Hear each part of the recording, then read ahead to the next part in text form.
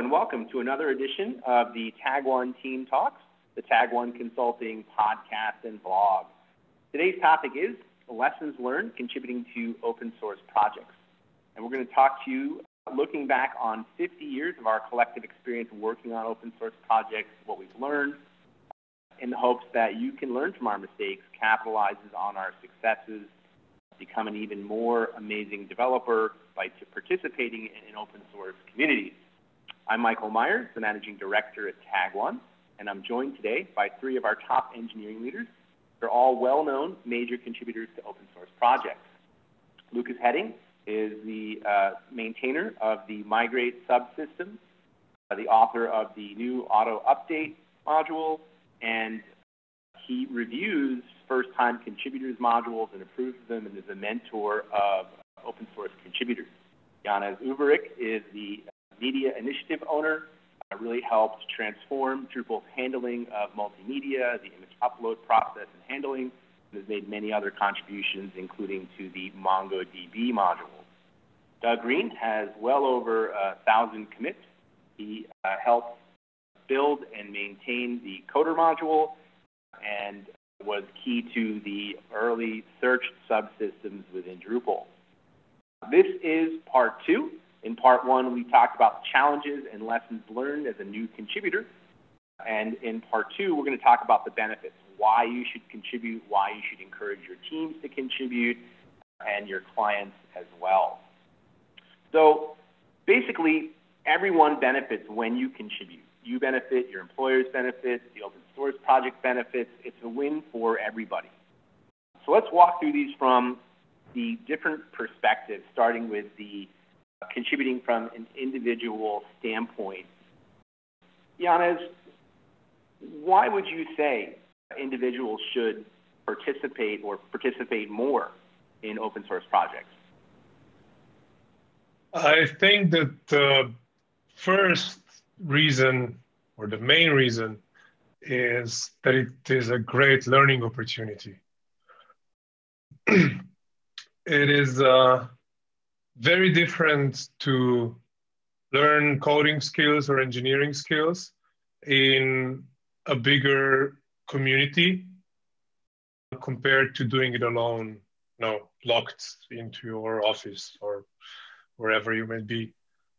Because there will always be somebody that has more experience than you, that has worked on more projects and when you contribute, you will get feedback from these people. And they will point out where you might improve your contributions or I don't know, where you might not be following the best practices, how you could, you know, improve the visual quality of your code. And all this at the end of the day makes you a better developer, a better engineer. It's almost like attending university for free, except your time, of course.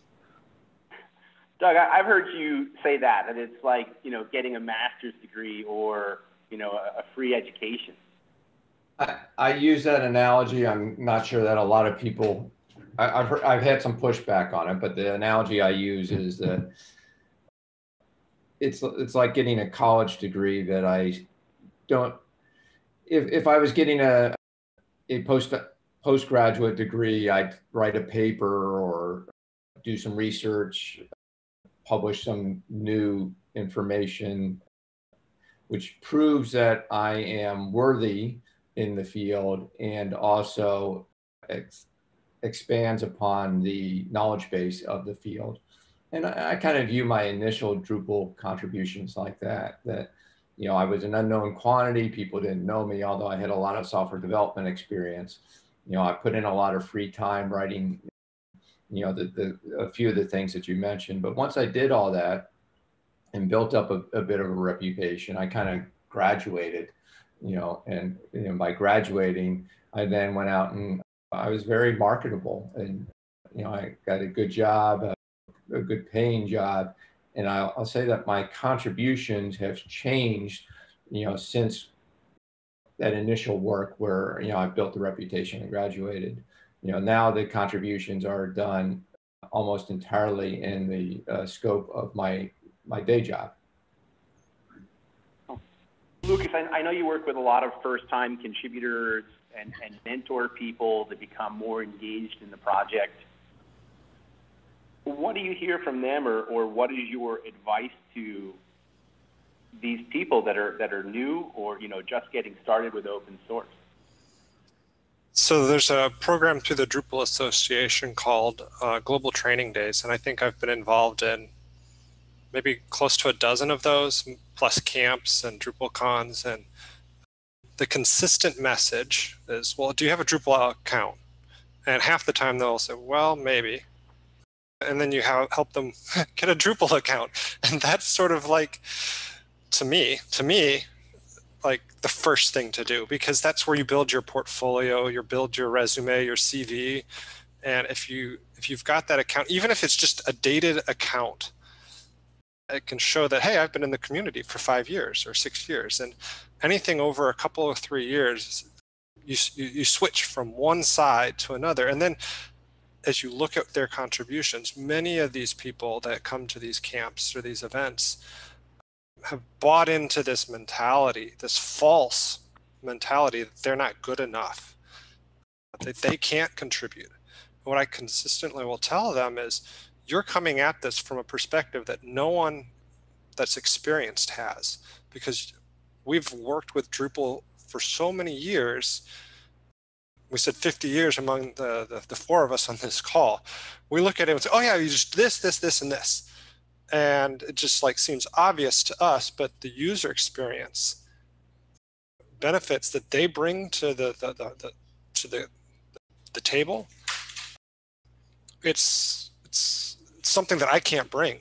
I cannot share that. And many of them have those perspectives that I will never have again. And just that they need to not discount. Plus they, they can do software development. They can they can they can contribute in some way. They can do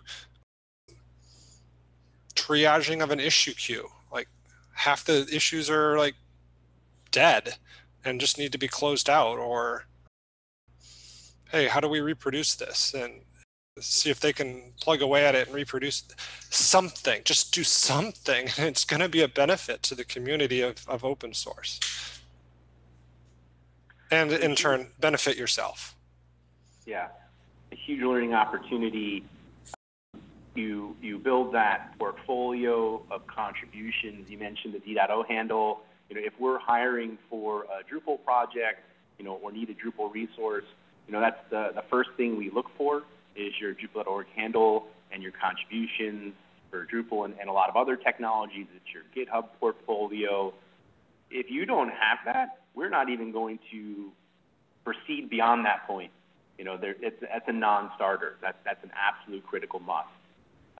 And we evaluate you, you know, in part because of cultural fits, you know, and, and you know, our conversations with you but largely based on the quality of your code and your interactions and reputation within a community. And as someone who hires a lot of resources, people who contribute make a lot more money than people who don't. You know, Doug, you mentioned how things have really changed for you over time. You can command a significantly greater salary as a well-known contributor to an open source project. So there's a there's a really great financial return on investment for people. You know, there's something in it for you. You're not just giving, you're getting tremendously. I have a story about that, which was I was still relatively new in the Drupal community. I'd done some search work, but I wasn't yet the core search maintainer, hadn't quite gotten that commit yet there was I was working for one agency at the time. Another agency was building a, a, a, new website and knew the work that I had done and contacted me as the expert in search to do some work for them. And at the time, I think I was making $50 an hour. And they asked, how much would I like to be paid for this two week engagement? And I said $100 an hour, which was crazy, double what I was getting paid. And, and uh, this was uh, Lullabot was the, the contracting agency. And they said, how about we pay you 110?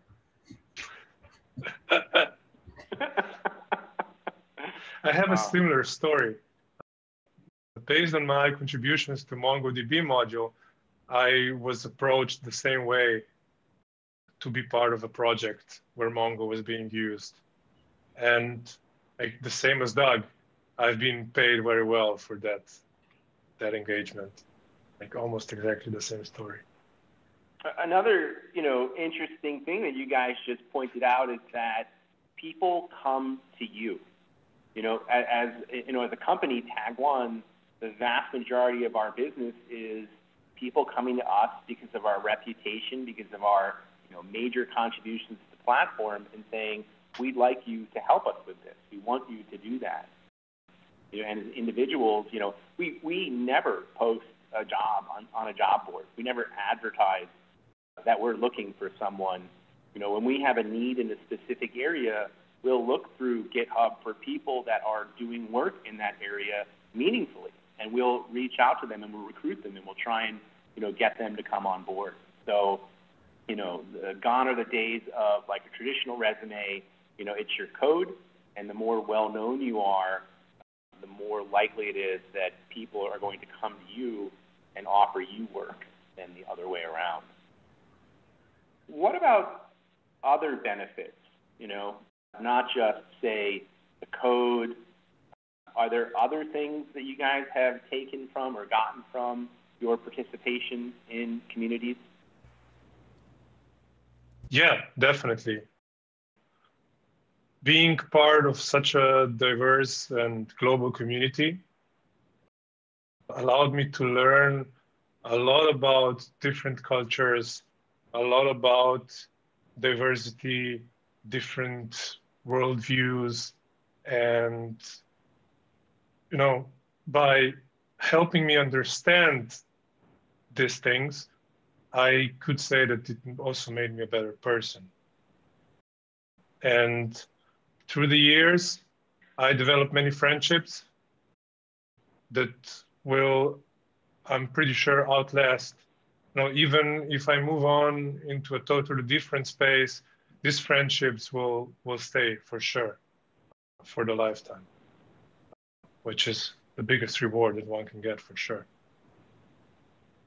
What about you lucas? Yeah a lot of friendships. Some and it's just really nice sometimes when i can get together with people at DrupalCon camps and things but a lot of it just ends up being interactions in the issue queue i see a person's name over and over again and you know three three sentences and a comment here, two sentences there, five paragraphs over there, you kind of get to know people. And and and then when you actually see John or or Sally or whoever the person happens to be, right? Oh, and you like slap each other in the back and you fist bump, or well, maybe in today's world we don't do any of that, but like you know, virtually from six feet away, we we hand clap. And we we we start to chat, and it, that's that's great. And and then and and you know some of the contributions you can do aren't really coding at all. Uh, you mentioned the mentorship program. Drupal's probably, in my opinion, we've got the best mentorship program out there in open source, and folks coming to us and asking us how we're doing it and studying our resources and modeling off of us. And it's very relationship driven, very empowering. And that, that makes me feel good to, to be able to, to look around at people and say, hey, I helped that person and, you know, that person over there and over here. And, and they're doing even better than me, you know, because we're, we're standing on the, the shoulders of giants in a lot of ways. How about you, Doug? I, I know in addition to what uh, Janez and Lucas were saying, I think we have learned as developers how to communicate through issues queues, through conversations that are remote. And built up a skill set here where I don't need to be in a physical office for a job. I know there's some debate in in tech companies and specifically, you know, that whether you have to be in the same room to be able to brainstorm better. But I think that the open source model where we're a part of a worldwide development community where we talk in issue queues, we talk in IRC, which is now Slack, has allowed me to have a job where I work remotely, which is kind of the new norm, you know, in, in 2020. But I think that we built up these the skill set over the last over the time I've been here.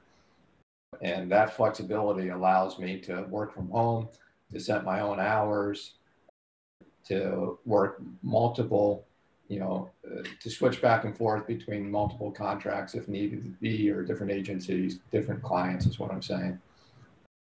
And, and, and that flexibility that that gives. But uh, what Janez started out saying is probably the biggest benefit to me. You know, you know, we're talking a little bit here about what's the benefit for the employer and the job, but the personal benefit is knowing all you people, working with all you people. And I always think it's really cool when I come on and I'm working with people in, in Europe and California and Vancouver and Canada and, you know, South America. And got a guy in uh, South Africa right now that I'm working with and, and getting to know those people and culturally. And every now and then we get on a Zoom call like this and we just talk about what it's like where you are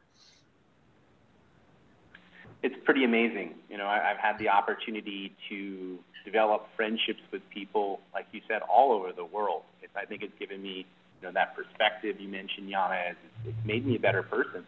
I feel more connected to our planet in a way that I didn't before participating in open source communities. And I think back, you know, I started with Drupal over 16 years ago. Watching what Drupal has become and you know playing you know even you know a small part in that has been so rewarding you know to see you know something that I've helped grow to be used by you know millions of websites you know many organizations doing wonderful things. Uh, and that's that's really exciting. It's meaningful. You know it drives a lot of value to me personally about our work. So what about agencies? You know from from an agency perspective you know, why should agencies get more engaged or encourage their resources to get more engaged? I know it's an investment, and you know, I, I don't think that agencies need to be altruistic. You know, this doesn't need to be like a, a nonprofit donation. I think that there's a lot of sort of benefits, you know, and you can even be very self-interested and contribute meaningfully and, and help the project, but also really help your company. You know, you guys all work for many different agencies. Lucas, what do you see as some of the biggest benefits for, for these organizations to get more engaged? So I, I sort of fit in between. I, majority of my time I work at these days with Tag One, but I, I work with a couple other agencies as well, like a lot of contractors. But I also have a small agency of my own that I sort of moonlight with, and I've got a couple of a handful of nationals here in Central America working with me. And one of the first things I do with any of these guys is getting them as they as they get hired is start contributing back to the project. And I've been blessed, lucky to to have some of them work with some very large agencies in in the, the world and I, I want to attribute that primarily because of their contributions back to the community. We can look at our, our little small agency of, let's say, six or seven people, and some of these folks only even work Drupal part time, but you know, we're at the very bottom of the first page or the very top of the second page of Drupal organizations that contribute back to, to Drupal. And that, that allows that and, and a lot of that work then also we we tag back to the agencies we're working with so you know pick your your favorite agency or your your your local large agency in Europe or America and we might have worked with them at some point and those credits come back to your organization. And so in turn, when you're marketing your yourself out to other clients to do to build websites, you're able to show that you guys um, really know your stuff when it comes to to Drupal. You're not you're not a no name. You're not a yeah. You're you're really able to to position yourself as your agency as as a as a go getter, and and it doesn't take that much investment. It really doesn't. Breeding a culture is is the the hardest part of it. Is just hey, make sure that whatever you're rolling there for that client, you roll that back as a patch to the, the project. That's probably the biggest thing I would advise an agency is don't do that in a silo. Don't do that in an alter of some form. Do that in the actual code. Throw up a 2K patch and it'll probably get committed someday. So just like individuals where, you know, as you become a, a more you know, you contribute more and more, and people come to you and hire you. The same thing happens to agencies. You know, people seek you out because of your talent, or are more likely to hire you because of your talent. That's what I found to be true, very much so. How about you, Doug? Um, I can't speak from the business perspective. You know, I was going to throw the question back to you, Michael, from the business perspective, but from the developer's perspective, working on projects, the benefit to my customer is if if I create a patch and I put it on D.O, it's got a chance of being committed. And once it's committed, I don't have to maintain a separate patch. You know, if I don't put it on D.O, I've basically forked the proc, you know, the module or core or whatever I'm patching. I've forked it, and it takes me a lot of effort to maintain it over time even with Composer and Composer patches, where things can commit, be applied automatically, there's still a cost to maintaining that local patch. So if I can get it on D.O, and this might be a good enough place to mention, I've got a, I'm, I'm not the best contributor or maintainer these days. You know, I was better when I was spending a lot of my personal time, but now that, like Lucas said, you know, I'll spend a little extra effort to try to fix it on D.O and, and get it on there. But usually I'm just starting the process. A lot of times I'll find bugs. I'll, you know, we'll find something that's wrong. We'll find a, you know, find a bug. I'll be able to identify what it is and create the initial patch and and then put it on D.O and then I use that patch in my project. That is generally the extent to that that's where I kind of stop. You know, and I think of it kind of as Hansel and Gretel, that I'm leaving breadcrumbs out there and hopefully someone else in the Drupal community is picking it up. Because anytime I find a problem, I go and search, you know, actually I use Google to search, but I search for Drupal, you know, issues and if I find somebody else has something, then I can use that. So I'm frequently just starting the patch and putting it up there and hopefully someone else in the community is picking it up and, and finishing it. And the short story I have related to that is I was at a DrupalCon once and at DrupalCon during the code sprints, we had, they mentor new, new Drupal developers and teach them the you know, how to go to issue queues. And frequently somebody will take up a patch in the issue and we do a live commit at DrupalCon. And I remember at one DrupalCon, they were doing a live commit up on the stage of, uh, of a patch that some new person had picked up and re-rolled and got it committed into Drupal core. And it happened to be something I had started, I don't know, five years ago. Wow you know, for, from my standpoint, you know, one of the hardest things, you know, as, as someone who's run a company that, that uses Drupal to power their business or an agency, is finding talent. That's, that, you know, that, that is our biggest challenge. And finding really amazing talent is, you know, an unbelievable challenge. And I've really had the good fortune of working with folks like yourself because the organizations that I've been a part of have, you know, made it, you know, you know a big part of what they do to contribute and support and be engaged in the community. So from from my standpoint, it's been a phenomenal way to attract not just talent but amazing talent. And then it's a snowball that rolls downhill. You know, talent begets talent. I remember, you know, Doug, we were working together. I sold NowPublic to Examiner, and you know, we needed to ramp up and hire, you know, a really large number of developers to rebuild Examiner on Drupal and you know, for the folks who don't know, Examiner was the first top 100 website to run Drupal. We grew it to a top 50 website.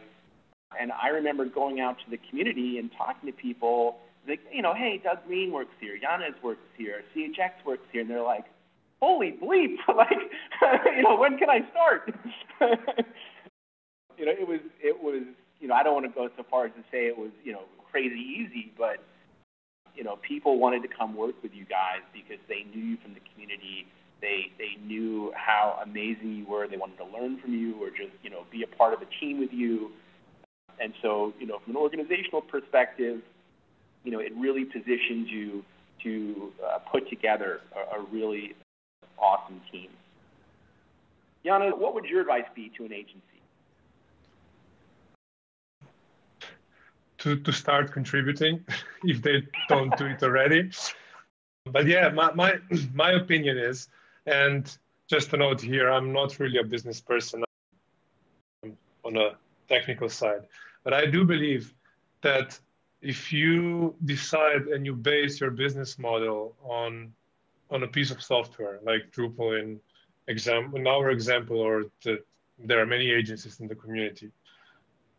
If you are contributing, a your developers, your members, your team will have more knowledge about a software, which means that they will uh, serve your clients better, which in turn means that clients will be happier and it will stay with you and probably pay better as well. But also, if especially if you if you if you do that extra step and you uh, contribute a little bit more, like you are a little bit more active in the community, at some point you will have some influence on the direction of the project. And if you base your business on that software, that's always a good idea. Like it's if you don't have any influence, then then basically puts destiny of your business into somebody else's hands. That's how I see it.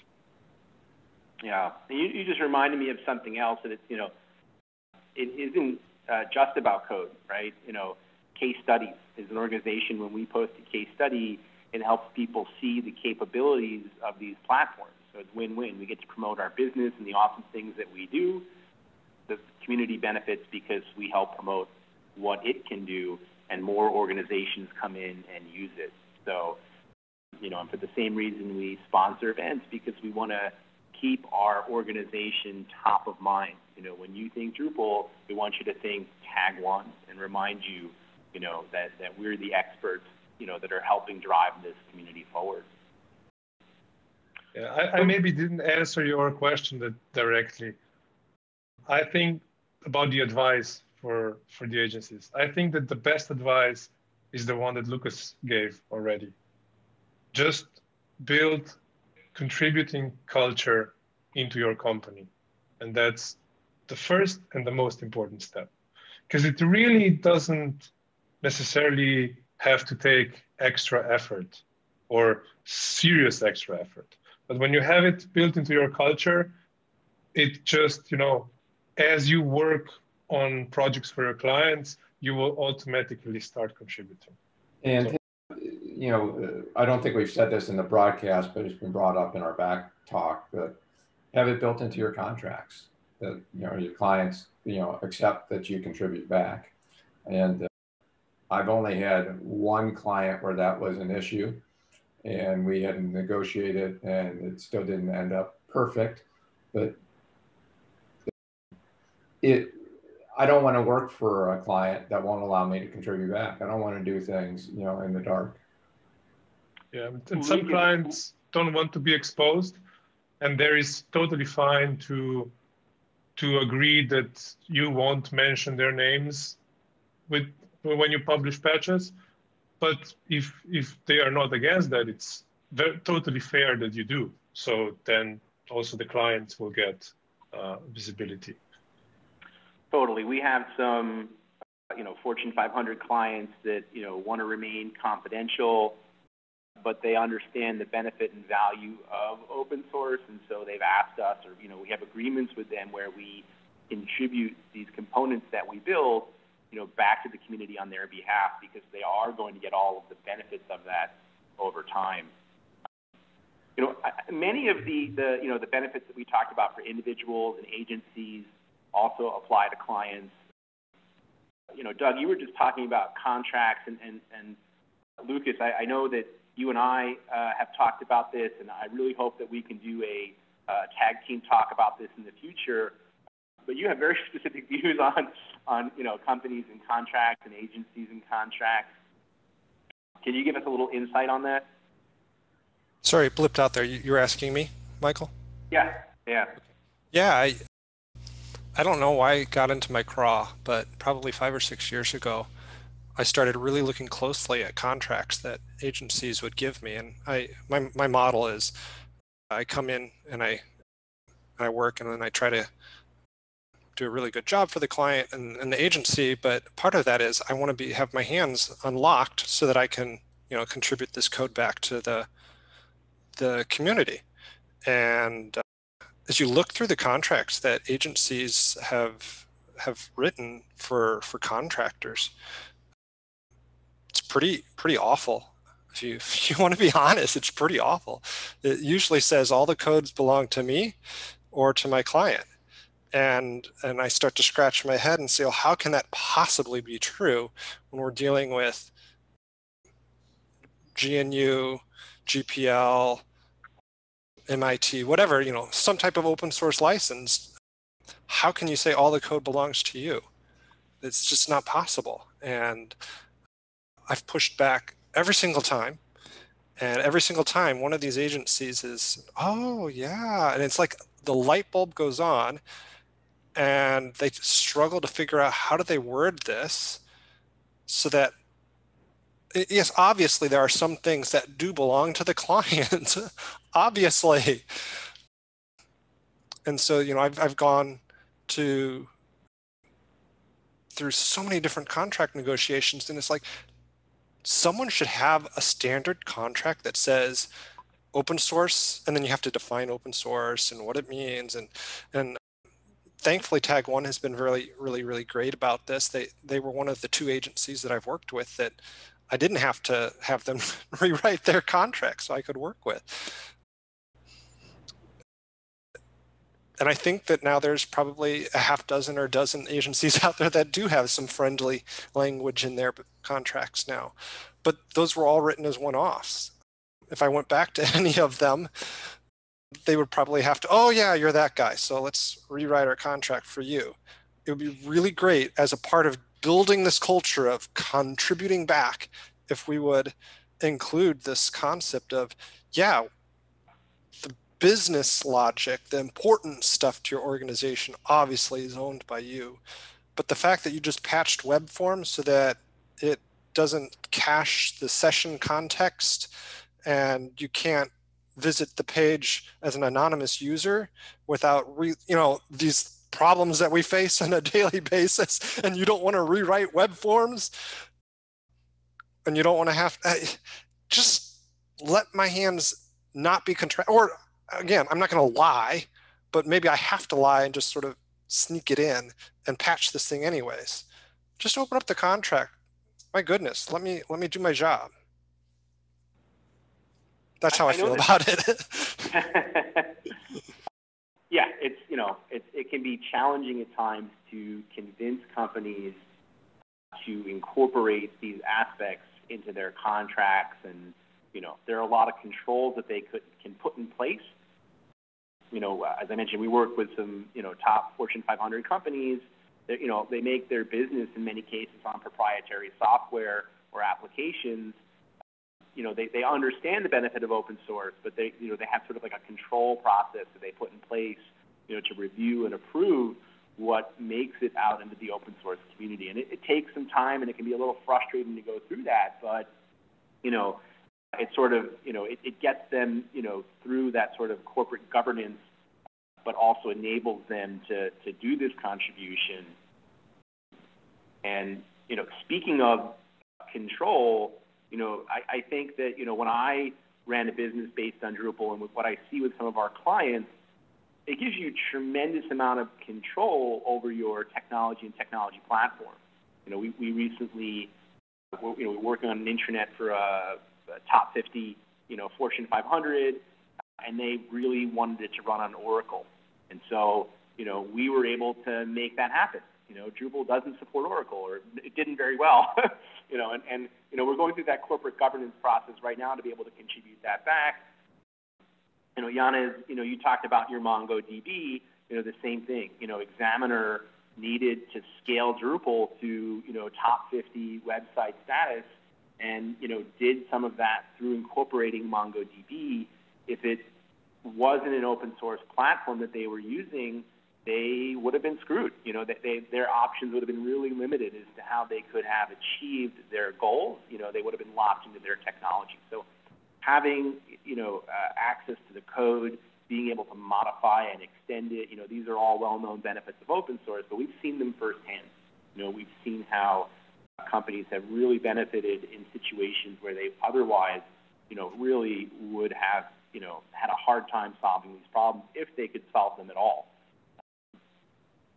So before we wrap up, you know, any any last words for companies as to, to what they should do or why they should get involved? Uh, just to, I don't know if this is new, but to reiterate, but we've talked about two two different contributions here. One is just fixing bugs, you know, or minor improvements, you know, you know, to the project, and then there's the other, which are the MongoDB, you know, uh, Oracle. When I was with Pfizer, they did, you know, invested a lot in workflows. There's the bigger contributions and the smaller contributions, and it's really up to, you know, I, I know when I was with the companies that did the bigger contributions, you know, it took management buy-in to, to do that, but they did it because you know, they needed that product themselves. And uh, a lot of times Drupal might do 80% of what you want to do. As a matter of fact, on, on a lot of projects, I mean, uh, Drupal might only do, you know, 80, 90% what you want to do. And that extra 10% does take some development effort. Doing that development effort in-house means that you're, you only had to develop 10% of what your project needed because 90% was already there. And the cost of doing that is really contributing it back. And when you contribute it back, then you get the rest of the community. Your company may be carrying, you know, the bulk of the effort there, but eventually you'll get some buy-in and some improvement from the rest of the community. So I want to encourage both types of contributions you know, my contribution, you know, as an individual developer tends to be, I've got a, I've got a job to do, a, a project to do. I find bugs, I find small improvements that I can make, and I'll spend the extra 10, 20, 30% of my client time to make that contributable back to get it over the hurdle. But then there's the other contributions, which are agency level or corporate level, where they have to make a decision that we're going to put, you know, one full-time developer on this and contribute the whole thing back. And that's a major investment. And there's, I can't speak to that end as much as somebody like Michael can, but I've seen it happen and it seems to be a good thing. I, think Pfizer is the gold standard from what I've seen for how corporations can get engaged in open source uh, and the benefits that they derive from it. There, there, might be, you know, case studies on that topic out there. If not, we should talk to Mike Lamb about doing that, but you know they have achieved all of the benefits that we've talked about. They've recruited an amazing team. You know the control that they've had over their technology has enabled them to do you know everything they need on a you know rapid pace. They run thousands of websites on the platform and have had you know major improvements. So it's I'd love to get them in and do that as a, as a future tag team talk. We'll reach out. But I think that's all the time we have for today. I really want to thank all three of you for, for joining us. Doug, Janez, Lucas, thank you. Really appreciate the time. Please make sure for our listeners that you check out uh, part one, the challenges and lessons learned, uh, as a new contributor, because it leads into this and I think reinforces uh, and helps you become a, a better developer. The links that we mentioned today are going to be posted uh, with the talk in the show notes in the description. If you like this talk, please remember to upvote, subscribe, uh, and share it out to folks. Please check out our past tag team talks at tag1.com slash tag team talks. And as always, we really appreciate your feedback and input as well as topic suggestions. So uh, please reach, uh, reach out to us at tagteamtalks at tag1consulting.com. Again, a big thank you to our guests and everyone who tuned in today. Thank you for joining us. We'll see you soon. Thank you, Michael. Thank you, Michael. Thank you. Awesome. Thank you guys. I really appreciate it. Sorry for running over again, but this was this was awesome. It's totally fine. Cool. Take care.